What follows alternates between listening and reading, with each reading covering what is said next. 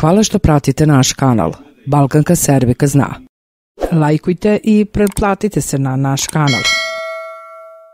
Uricanje je najopasnije kada je zao pogled propraćen rečima divljanja i čuđenja. Tada veruje se pomažu molitva i reči. Poslušajte šta nas po narodnom verovanju štiti od uroka.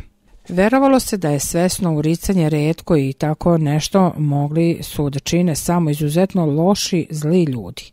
Urokljivac najčešće nije bio ni svestan zla koje nanosi. Zle oči mogao je dobiti samim rođenjem, ali i kasnije, sticajem nesrećnih okolnosti. Zaštita se sastojala u sprečavanju uroka. Uobičajeno je bilo pljunuti na moguću žrtvu, ali često nije bilo potrebno. Neko od prisutnih mogao je pljunuti tri puta ili čak pljunuti preko ramena i na taj način sprečiti moguću nesreću.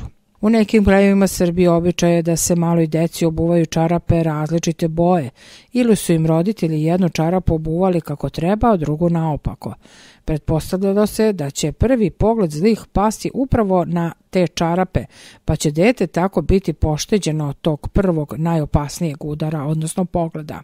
Moć uricanja pripisivala se fizički ili psihičkim defektnim ljudima koji po prirodi stvari zavide normalnima i zdravima.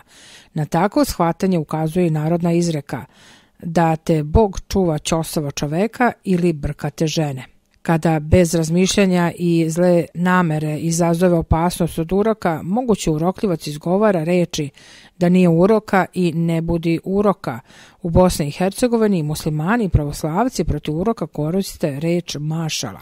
I kao što smo na samom početku ove priče rekli, uglavnom pomaže samo molitva i vera u Boga. Izvor Opanak RS. Hvala što pratite naš kanal. Balkanka Serbika zna.